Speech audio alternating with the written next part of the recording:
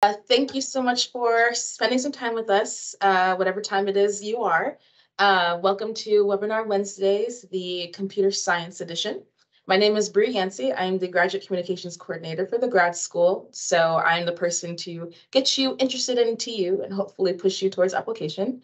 Um, with me here, I have Dr. John Hale, who is the chairperson of computer of the Computer Science Department.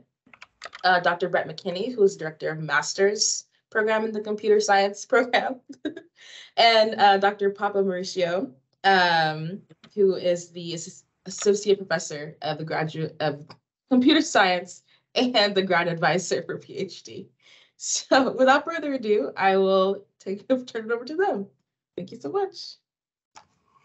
Well, uh, yeah, again, my, my name is John Hale. Thank you for uh, joining us today. I am, uh, as Bri said, the chairperson of the Tandy School of Computer Science uh, and uh, a professor uh, of computer science as well. I I teach in the areas of computer uh, organization and architecture, high performance computing, um, cybersecurity, and a little medical informatics from time to time. So what what I would like to do uh, before I introduce my colleagues and let them describe some of the research that they're pursuing is kind of give you a, a bit of a thumbnail sketch of uh, uh, research overall in the Tandy School of Computer Science. And so if I can, I think I will uh, share my screen and um, walk you through a, a little ad hoc slide deck that I've prepared. Hopefully that's showing up. People can people can see that. Um, you know, our, our program is uh, uh, small, but uh, I believe the things that we, the fields that we work in, we have international uh, and stellar reputations in, and, and that includes uh, things, rep, uh, areas represented by, again, the faculty here today, Dr. Papa and Dr. McKinney. But a, a, little bit about the program overall. Um, at the undergraduate level, we are ABET accredited, and ABET is the the governing body that basically um, validates that you're doing all the right things educationally uh, in teaching in teaching computer science to undergraduates, and that's important for graduate students because it speaks to the quality of the program. And you know, if you come here and if you're entering the master's program or you're entering the PhD program, you'll be working right alongside some very talented undergraduates, most likely. Um, we offer a number of degree pathways. We have a bachelor's degrees in computer science, computer simulation and gaming, and a brand new one in data science. And of course, at the graduate level, we offer a master's in computer science, a PhD in computer science, and also uh, we, we jointly run a program, a PhD program in computer engineering with the electrical and computer engineering department. Um, we do have state of the art facilities, a nice building, a Rayzor Hall, 17,000 square feet. Computer science occupies the uh, upstairs part of that, and you know most of it is dedicated to um, research labs, uh, faculty and graduate student offices, uh, and there are a couple of there are a couple of teaching labs as well. So again, I, I, I, sort of highlighted or mentioned we you know we have a few areas that we we think we excel in. Cybersecurity is is one of those, and we really do um, sort of full stack research in cybersecurity. We you know investigate the full problem space, which goes all the way from the silicon uh, of the computer to the neuron of the human. And so this uh, slide highlights just a few of the cybersecurity research areas that that our computer science uh, grad students are are are pursuing. Uh, and again, these can be grad students that are at the master's level or at the PhD level. But we have research efforts in autonomous system security, uh, looking at uh, things like robots, uh, drones, UAVs, uh, trying to understand um, the role of um, uh, AI and machine learning in threats and security opportunities for those systems. Dr. Papa, I know, has a really robust research program, uh, as well as educational opportunities in critical infrastructure protection. And uh, Dr. Pop, I don't know if you might want to say, I know you'll talk about it um, at length uh, here in a little bit, but is there anything you'd like to say at the outset about about that type of research?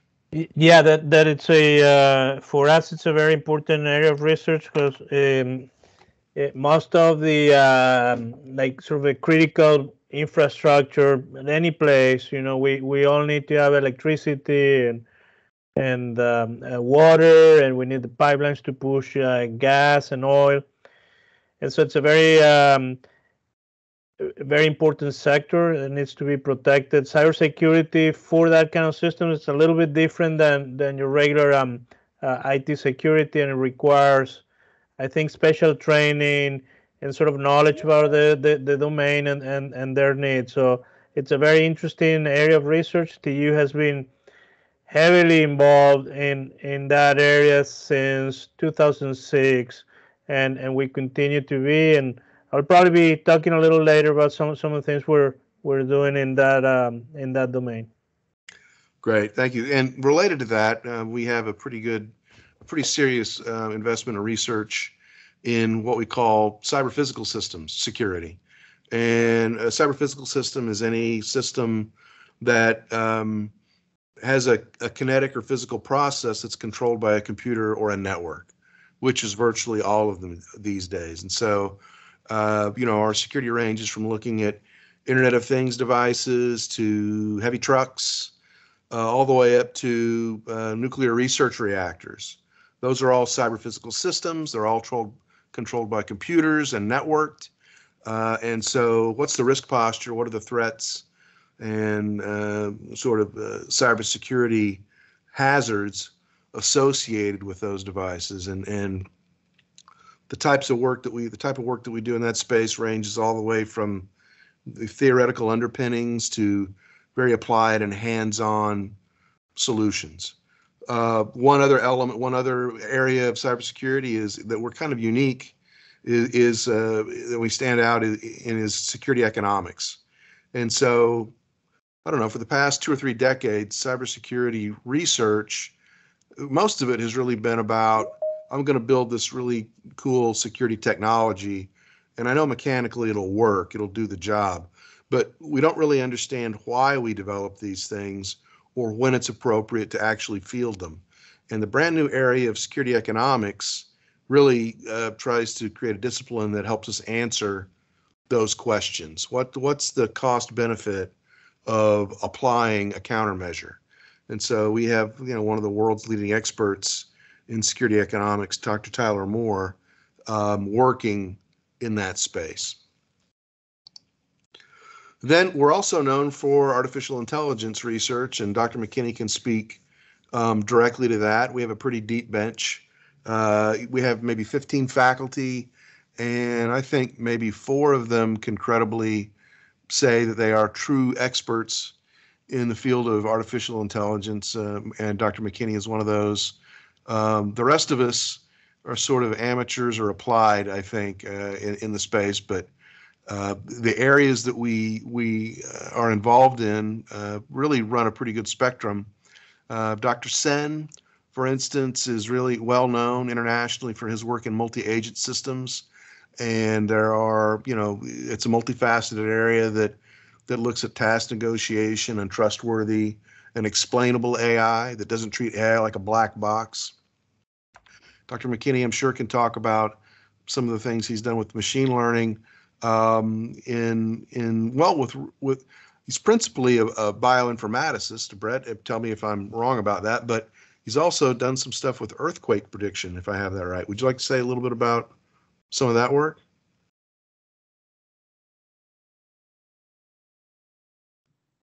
I was muted. I may have uh, caught off guard. Yeah, go ahead. Yeah, we have a yeah we have a lot of collaborations. Um, so, so yeah, I do develop a lot of machine learning algorithms. That's one of my big interests, but a lot of the applications are in the bioinformatics domain. So um, we get a lot of uh, state of the art um, data from, from uh, things like gene expression and genome wide association study, neuroimage data. But yeah, one one of the um, other areas or other areas of basically science are things like earthquake detection, detection, like whether you know predicting whether an earthquake is a is a is about to happen or where the the location of the earthquake. And so we've been using machine learning and deep learning type of methods to to do that.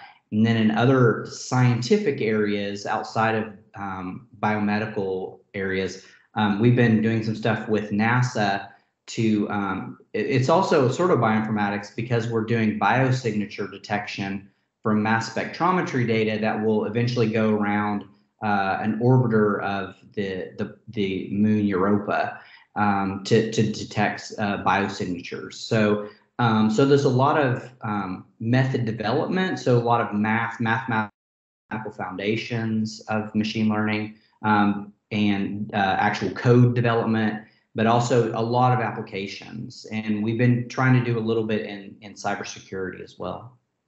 Okay, wonderful. Uh, and so uh, another area or two really is you know that we've uh, really begun to expand upon is uh, looking at research, looking at applications of uh, virtual reality, augmented reality, and extended reality, uh, and then also some robotics research. And so we have a group that is exploring the role of VR in education. They've developed a nursing student training simulator that actually helps nursing students in our uh, in our nursing college to get trained up on certain processes and protocols uh, and then we have a, a, a, VR application in development that looks at carbon capture, utilization, and sequestration. Uh, so training and educating the public on what that really means. Uh, we have a we have a, a, a, pretty ambitious project that's looking at um, the role of digital twins um, uh, in helping manage and operate and maintain um, what the government's calling smart installations uh, smart buildings that are equipped with a lot of sensors and robotics. And the the idea behind a digital twin is you have you have the physical thing, whether it's a room or a or a piece of equipment or a pipeline or whatever it is, and then you also have its virtual embodiment. Uh, so it has a VR representation, but the twin part is they're linked, so that if I do something in the virtual space, it happens in the physical space simultaneously. And so um, that's a pretty ambitious project that involves a lot of moving parts. Um, down the road, uh, we're we're looking to invest energies more heavily in um, doing research for different application domains of robotics. So we believe that um, there's substantial work to be done in developing assistive robotics for senior citizens, for people that need um, help, uh, whether they're you know going through physical therapy or rehab or or you know maybe in a geriatric situation.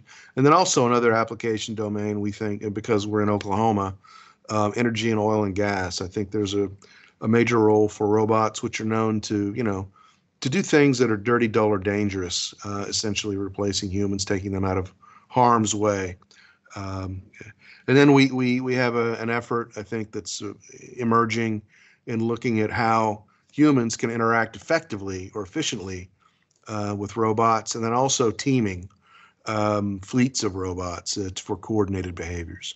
And so this is really sort of an overview of some of the things that we have uh, that we're working on in research. And I think, um, unless there are questions or, or anything anybody wants to talk about, it might be a good opportunity to turn it over to Dr. Papa again and let him provide a little more detail on some of the areas he's exploring. Thank you, uh, John. So uh, I'm, I'm also a, um, a, uh, a, faculty here with the um, Tandy School of Computer Science, and I also have a uh, joint appointment in, in cybersecurity. So mo most of my sort of research activities center around network security uh, and more specifically network security applied to process control systems. Like I mentioned before, um, started in 2006.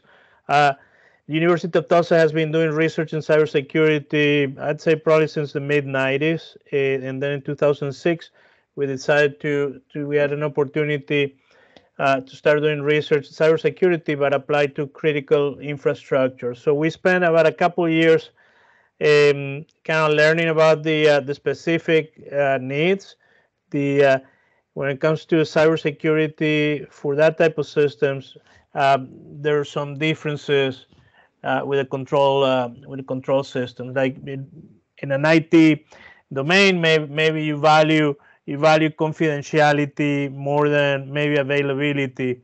Uh, if you're talking about a pipeline or, or electric power uh, grid or, or a substation, availability um, is more important than confidentiality. So that that sort of thing, we had to come to a point where we understood uh, what their needs are, and we um, we want our students here to of hit the ground running when when they uh, graduate. So we have an, a number of classes where they learn how to code and how to build tools. And I've been uh, building tools then for that sector. So I have worked um, with oil and gas here at the uh, where we're located, uh, city of uh, Tulsa. Um, there are lots of companies that provide services to to oil and gas companies, and so we we've had a good opportunity to to collaborate with them.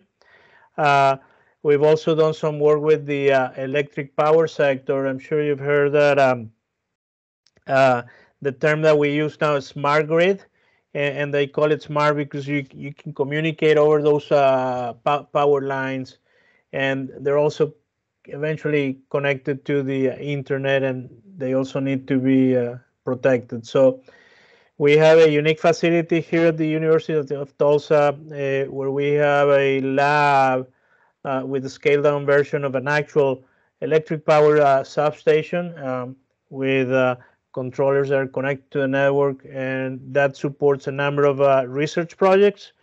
Um, we um, we also have other facilities um, to to do research in that area. That includes um, some oil and gas. Also, the University of Tulsa has a very uh, um, top-notch uh, petroleum and engineering department, and we have a um, a campus here that we call it North Campus, about uh, maybe two miles uh, from the main campus where they uh, where they run a number of uh, industrial I, I, I, call it industrial facilities to uh, work with oil and gas.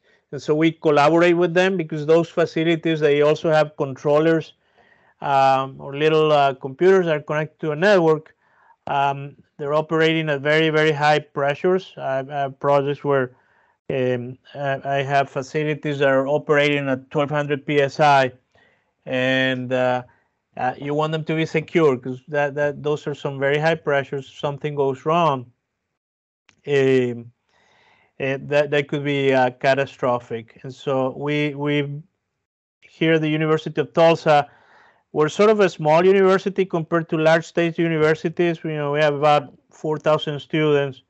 Um, and the the good thing about being uh, sort of on the smaller side is that we all kind of know each other. We collaborate very well. We have a number of um, uh, projects that are interdisciplinary. You, have heard Dr. Hale, Dr. McKinney talking about some of the things they do, uh, and it involves people from different fields, and I love that. Um, I'm I'm working on projects right now in North Campus where I have students who are petroleum engineers, and and then I also have some students who are um, um, essentially computer science. So in that domain, um, again, the tools that we need to use are different. The uh, the controllers they use, they're very delicate. So even if you if you were to put um, a network traffic that doesn't follow uh, specifications, just by putting a packet on that network, uh, it, it, it, sometimes that is sufficient to shut down one of those controllers. And so we have to be very, very careful, not only uh, if we're trying to defend them, but also if we're trying to build tools, and that's what we're trying to do uh, for cybersecurity, specifically uh, for that domain. So we spend quite a bit of time looking at what kind of protocols they use in that domain, the um, protocols that are used are, very, very different from the ones that you would normally find on an IT network. Um, and those are are protocols that carry uh, uh, control information. They're useful control, so you can open valves, you can change set points. If you can imagine, very important to protect those uh, those protocols.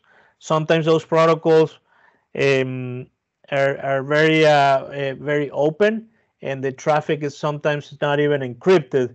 So you can imagine if a, if an attacker or an intruder uh, were to have access to that sort of networks and they they knew what they were doing, they could do some pretty bad things. And so we're we're in the business of trying to help defend them. So I've I've spent um, quite a bit of time doing research on what we call situational awareness. Um, building essentially building tools that will give you a good idea of what's there on that type of network. Because if you don't have situational awareness there's no way you can defend. If you don't know what's there how could you possibly uh, defend it? And so we have done that uh, for a number of different domains that include um, electric power oil and gas. And at one point in time we even had a project where uh, we were trying to do that sort of things with um, uh, like research nuclear reactors because um, they're all they all have control systems. Um, and then the next step is obviously one thing is to have good situational awareness. The next one is to build tools that can actually detect when something's going wrong. And IT people tend to focus sometimes too much on on just network things and not so much on the process. So in the field that I work in, it's very, very important that I talk to engineers specifically who know about the process. Because for me, I'm a networks person. All I'm looking for is, is packets, packets on a network. Um, but if I don't understand what those packets are doing, then we won't be able to protect them. And that's where we need the uh, to interact or collaborate with engineers. They may know, hey, if you open this valve, more than 75% uh, things are going to go bad here. Maybe pressure is going to be too high. A network person doesn't know that. Um, and so uh, building tools that will help you detect intrusions in that kind of systems requires uh, very specific knowledge, not just about network security, uh, but also a specific domain that you're trying to, to protect. And so once we um, done situational awareness, uh, we, we also have projects where we, we try to do what's called intrusion detection systems. And that is, hey, if I can monitor what's going on in my network, can I detect um, attacks or intrusions? Can I detect that someone's scanning that network? Can I detect that someone's maybe trying to change a set point um, or vary a temperature or flows or, or things like that? And so there are different ways to do that. Some of them involve what we call machine learning or AI, um, mostly because using machine learning, you can sort of learn what uh, uh, what's normal behavior. Those are networks essentially with a controller in a loop, infinite loop. The traffic tends to be pretty regular, um, and you can um, try and identify patterns. And, and machine learning uh, algorithms are something are really, really good at that. And so we, we've had a number of projects where we use supervised and unsupervised learning uh, to try and detect attacks um, on that type of networks. So we, um, and again, we, we have to be able to do that for different domains. And so the protocols that are used in one domain are different than the protocols they use in other domains. Also, timescales are very, very different. So, for instance, uh, and on, on an oil and gas sector, sometimes things can take minutes or hours to uh, to go bad if something were to happen, and so you have more time to respond. On the electric power sector, um, electricity and signals move very very quickly. Something goes wrong, you need to be able to respond, sort of in the order of a few milliseconds. So they're very different different domains. Um, and when it comes to intrusion detection, let's say you if you do electric power, you have to be very very efficient and you have to be able to do it very very quickly. And so there, there are different challenges. So we we've had a number of students trying to do intrusion detection. And then sort of the next layer to that and is okay if I detect the intrusion, then what do I do now? The, the the end goal is to try and protect those systems. So we have to be able to develop measures that will protect a system or that type of system against attacks. And there's typically two ways to go about it. Uh, there's the uh, passive way and then the active way. So passive is essentially maybe trying to communicate with a firewall and saying, hey, you know, I've detected maybe malicious traffic from, from a particular network. Uh, maybe let's block traffic from that network.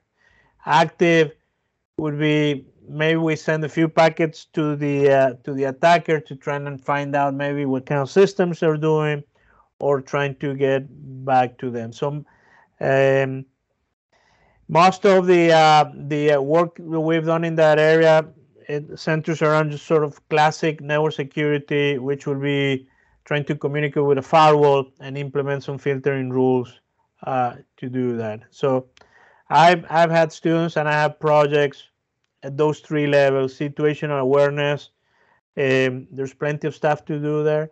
There are things to do, uh, lots of things to do in intrusion detection, and also um, countermeasures.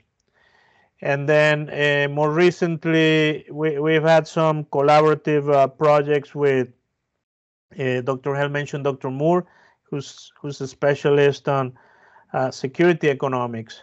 Uh, the truth is that at the end of the day, those attacks cost money, and and companies will look at that. So one thing you don't want to do is you don't want to spend maybe I don't know a hundred thousand dollars trying to respond to an attack that's only worth 10,000. Uh, from from an economic point of view, you might be better off just ignoring that attack. And so uh, there are some very interesting uh, collaborative uh, research projects that, that we have where, where we try to build tools that will take into account not just the need to minimize and protect against against attacks, but also to be able to evaluate cost because at the end of the day you have to have people who respond to the attacks. And if attacks succeed that will cause some damage and we have to be able to measure that and optimize that. And um, so that's another area of research um, sort of in my domain. I have also we also have some efforts dr uh, Hale was mentioning um, on the IoT, what's called the uh, Internet of Things um, domain. I was trying to find, I have, uh, actually I have one here. Uh, there are lots of different devices that we use that can actually be connected to sensors uh, that also need to be protected. And I'm, I'm going to show you maybe one here. I don't know if you, uh, it's, you can see it. This little thing right here is what you would call an IoT device. Uh, I can actually, I have it connected here to our Wi-Fi network. I can measure, you know, things like temperatures and, and humidities, and sometimes you can send signals. It so happens you can you can see by the size of that thing, it has a very uh, small CPU. Uh, they typically don't run a full TCP/IP stack, and so any network security tools that are going to be used to protect that type of devices needs to take that into account and that's a challenge. It's a challenge to try and protect them and it's also a challenge to to try and detect and uh, maybe devices are in your domain. I mean you you saw the size. They're pretty small. Uh, they operate wirelessly. And so being able to uh, like to do for instance i mentioned already situational awareness it's very, very, very challenging. So uh, we're right now uh, trying to develop tools that would allow an IT practitioner, security uh, personnel to be able to maybe conduct scans where you can go into a facility like maybe the ones that Dr. Hale was mentioning, where we have maybe extended reality and, and be able to detect um, sensor or IoT devices that are out there. You often want to verify that the ones that are, are there are legit. And if there's one that's not, or you have some rogue um, devices, you you also want to be able to detect them. And again, being wireless, um, it, it's also very challenging. So that's sort of an overview of the, uh, at least for me personally, the uh, type of uh, uh projects that I work on. They're mostly cybersecurity, but they're very collaborative uh, in nature. I have to collaborate with uh, AI and M and machine learning type of people, people who do data science.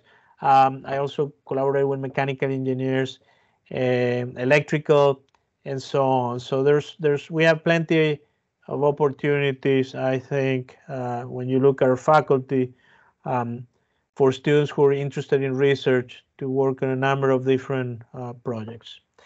And I don't want to monopolize the uh, conversation. Uh, I mean, I want to give um, uh, Dr. McKinney also a chance to, to maybe talk a little bit more about uh, things he um, he's working on. Is just a different domain, but there, I think there are some overlaps in, in some of the projects. So yeah, uh, Brett, before you get started, I'd also like to say as a bridge to that, you when we talk about research, the, we're really good about bringing these experiences into the classroom as well and, and the expertise without question. So um, yeah, Dr. McKinney, would you like to say some things about your your areas? Yeah. So I'm Brett McKinney. Um, I am also the the the advisor for master students. And so um, at the end we can maybe do have you know if you have questions or i can say a few things um, at the end um, about some of the nuts and bolts like you might want to know like how do i enroll? And you know and, and we may not have we can also do those things offline. I'm, I'm also happy to help like if you have an email just you know just email me questions about about that. Did you have something else mauricio I just want to say I, I, I do the PhD. Um, I'm responsible for PhDs, but uh, Dr. McKinney and I we work closely together, so he can also answer questions about our PhD programs, and I, I'm also available uh, if anyone has questions about anything related to uh, what we do. Um, so between yeah between the two of us, we we take care of all the all the MSs and all the uh, PhDs. And if you have any questions that are coming up during this, you can put them in the chat and, and, and you can also just ask on your microphone as well. Um, but just a little bit about, about me. I've a, I'm a professor in um, computer science and I have a joint appointment in the math department. Um, I my background is actually in, in theoretical physics, and so I'm very interested in scientific computing um, as well as machine learning. Um, I teach a class um, at the undergraduate and the graduate level uh, on scientific computing, how you basically use computer science algorithms and numerical algorithms to solve problems in physics and engineering. Um, and we have some research in that area as well. I still do some some mathematical physics type of projects as well, well that have some computational components in them. Um, and so I so I teach that that, and I also teach a bioinformatics class um, that talks about the algorithms that you use and gives you a lot of background about you know the biology of the data that you're analyzing, and basically it's a lot of applications of machine learning algorithms for biological data. Um, and I teach a network theory class that gets into you know things like modularities and centralities and how you apply those in various areas um, in science and and and uh, cyber type of networks as well. Um, so in the in the bioinform so so I do some machine learning method development. So we have some methods that we've kind of homegrown, and there's a lot of opportunities for research of like modifying them and trying new things. We do a lot of, of the development in R packages, but we use some Python and Julia and um, sometimes we even use Fortran and C++, um, but we use a lot of different languages. Um, but is one of our probably most popular. So um, we do a lot of collaborations. There's a group in Tulsa called the Laureate Institute for Brain Research that we have a close collaboration with. We know a lot of the investigators there, and they generate a lot of interesting data um, that we then can get our hands on and, and try different things, machine learning algorithms, um, and try them on like things like gene expression data and neuroimage data. They have a ton of like fMRI data. It's like basically time series or volumetric data.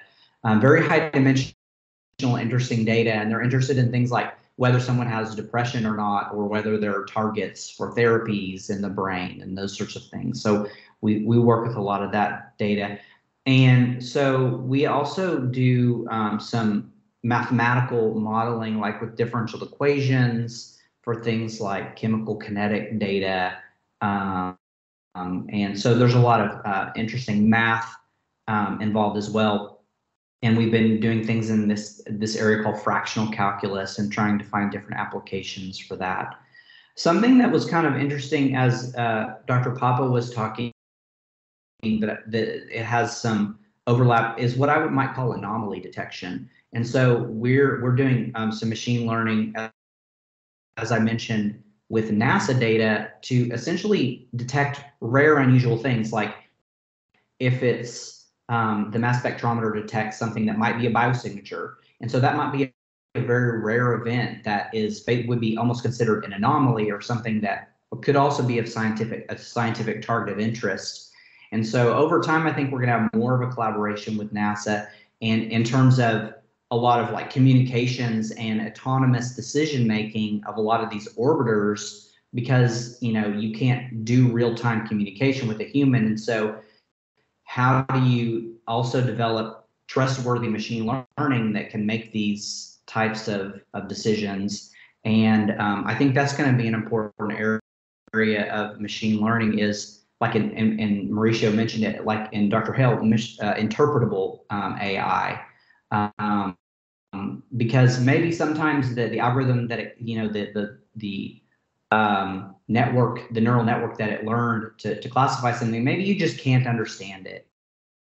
I mean but um, and, and it might get to that point where we just can't understand it. We're just like yeah it's right most of the time.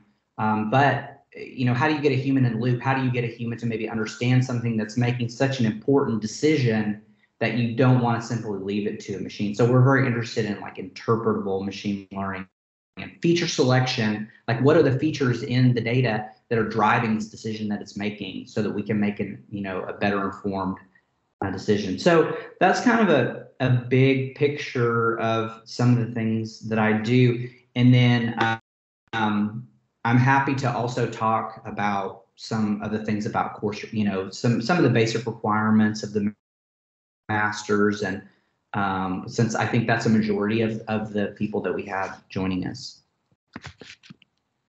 Yeah, I think that's great. I mean, I, I agree. Talking about courses and what those options are, and um, mm-hmm. you know, some of the opportunities for assistantships and whatnot, we can also visit about. Yeah. So I think at that point, maybe we could talk, open it up for questions if there are any.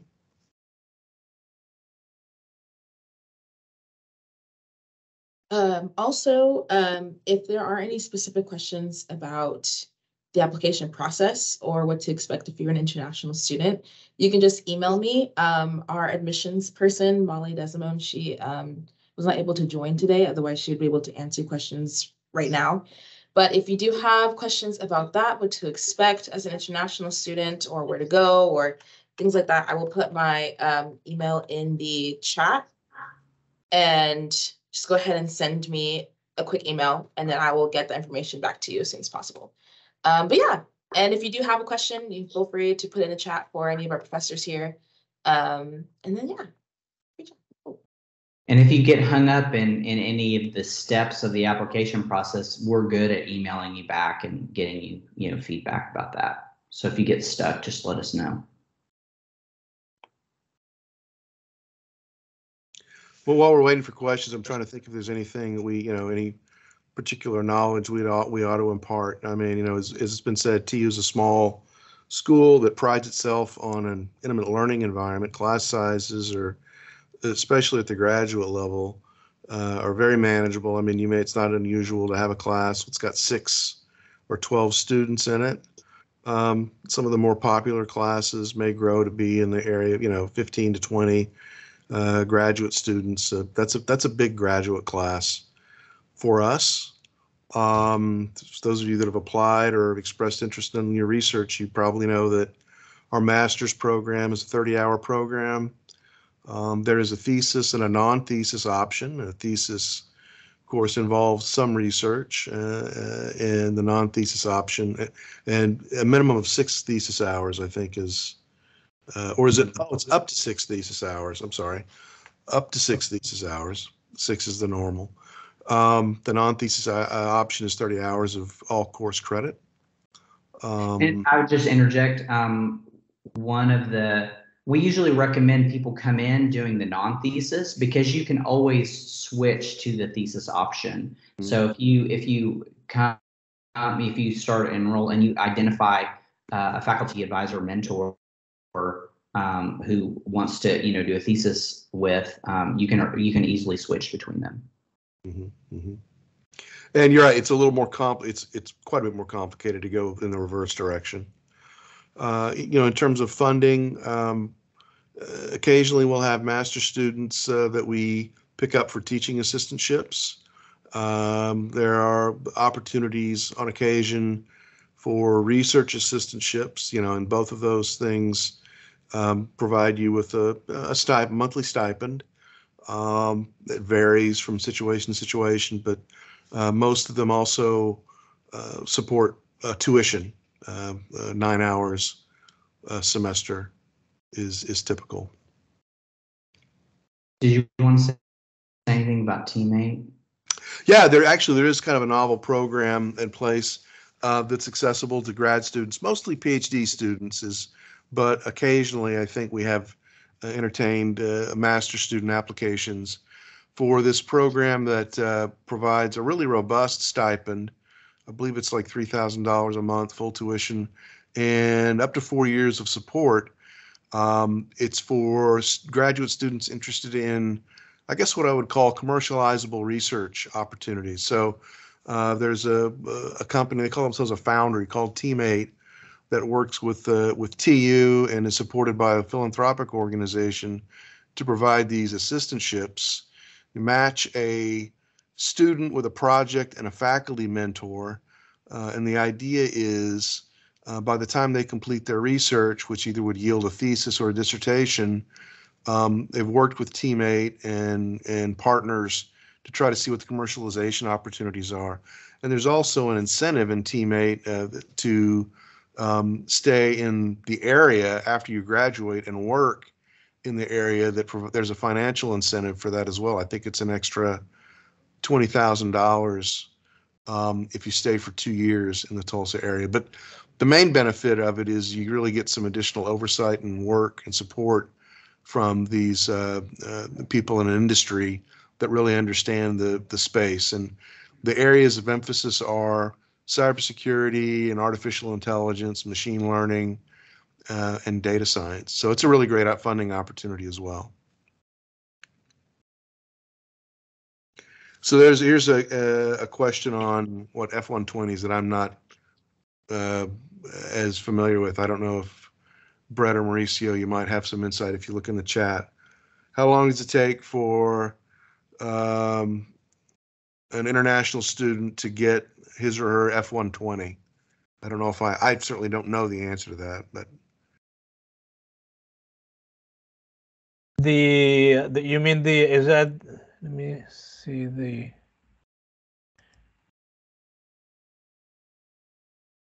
so the um I'm sure you're probably familiar with the process. The um, University of Tulsa, once you're admitted, will will give you an I-20, and then with that I-20, uh, if you need a visa, you you you go to the uh, to a consulate, and uh, then they will give you the um, the F1. Uh, that's a process. Uh, how long it takes, it depends on the embassy, embassy, and it, it depends on the um, on the country. Some countries you can very quickly. In some others, it may take two to three months. So my recommendation would be, if you're interested in probably joining in the fall, and that'd be August. I think um, you, you probably want to make sure you, you have your application in probably April or May, uh, so you can get the I-20 and have enough time to uh, uh, get the visa. In most places, be, before you can even go to the um, to the uh, consulate, you have to get an appointment. Uh, and they have you know automated systems to do that, and so you cannot really control when um, that's going to be. So I'd say the more time you have, probably the better you'll be. I don't think uh, we, we mentioned this, but we we don't have like hard deadlines for uh, for applications. We evaluate uh, both uh, Dr. McKinney and myself. We evaluate applications on a rolling basis. So as soon as they come in, um, we try and evaluate them. So if, if you have a chance to apply early, my recommendation would be to to go ahead and do that. Also, Dr. McKinney, myself, you know, we're available. You probably have our contact information, and I would say, you know, if you're in the process of applying, um, and maybe things are uh, not moving, or or you think there are delays, uh, applications are typically handled by grad school. Uh, so if, if you're in a position where you think maybe things are being delayed, I would encourage you to contact Dr. McKinney uh, or myself. If you're applying for a master's, probably Dr. McKinney. If it's a PhD, myself.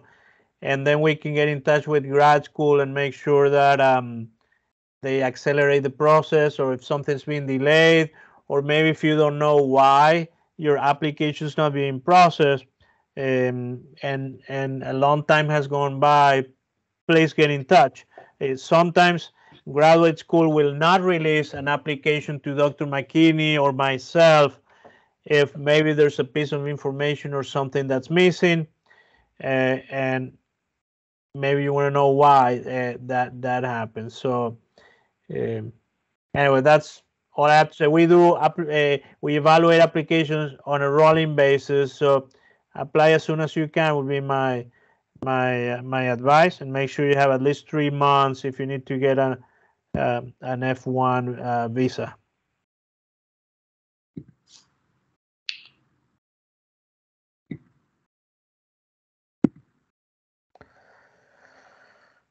Uh, We had another question about scholarship options and, yeah, uh, you know, we could talk about a couple of things. We, I, I mentioned the assistantships, which typically encumber some work obligation. If you're on a teaching assistantship, for instance, um, you're going to be assigned to manage, to help manage some courses and lab sections, and it's supposed to be 20 hours of work. Research assistantships are much the same. The 20 hours are allocated for you to work on research. But when we talk about um, scholarships, um, Mauricio and Brett, you may know more than I do about it, but I think in the past, recent past, the graduate school has offered some merit-based scholarships that don't encumber uh, work requirements, but I'm not sure where we are with those. That tends to change from year to year. So is there anything to say about that?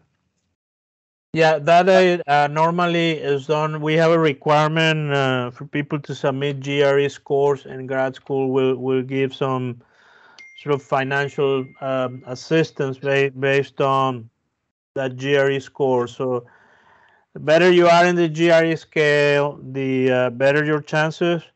I have also, uh, just to add to what Dr. Hale was saying about assistantships, we, we also look sometimes at, you know, GRE scores to, to help us evaluate uh, uh, our grad students. Mo- most of those assistantships are, are merit based and the GRE um, kind of gives us a level playing field or or or sort of a standard to use to evaluate students who may be coming, you know, from uh, different countries, different schools, different backgrounds. Um, so um, I've seen grad some people with really really good GR, GRE scores. Sometimes graduate school may may give maybe 25 percent uh, and like Dr. Hale was saying, that changes uh, year of, over year. So I, don't- I don't know exactly what they're doing that uh, right now, but um, a good GRE score will, will help you. Wonderful. Are there, are there any other questions? Anything about the classes or the student, you know, environment, the, you know, the city of Tulsa? Um, we're happy to answer any of those. We also only have four minutes left um, before the teams will kick us out, unfortunately. Um, but yeah, if you do, if anyone has any last minute questions, now will be the time. If not, um, you can send an email to uh, whoever you would like to have your questions asked or answered, and then uh, we'll do that. Cool. Looks like somebody's typing. Yeah, looks like. Okay, all right. Hey, thank you very much. Yeah. yeah. Okay, great. Well, if there are no other questions, then thank you all so much for joining um, from wherever you are. And I hope you guys have a great evening, afternoon, or morning. Um, and we will be posting this recording on our LinkedIn pages. So I will be sure to send out that information as well if you are interested.